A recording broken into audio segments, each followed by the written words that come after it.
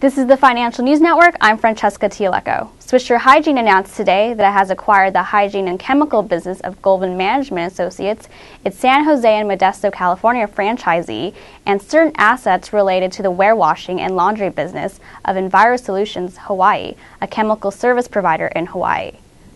The purchase of Goldman, which has been a Swisher Hygiene franchisee since 1994, will solidify Swisher Hygiene's position in northern central California.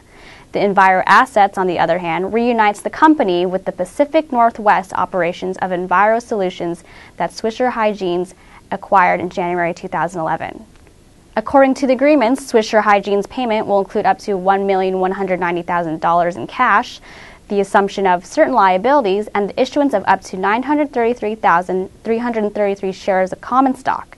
Swisher Hygiene, including shares of common stock, issuable under a convertible secured promissory note, which is subject to certain restrictions, including acceptance by the Toronto Stock Exchange. Shares are up 0.67% to $5.96. For further updates, stay tuned to the Financial News Network. I'm Francesca Tioleco.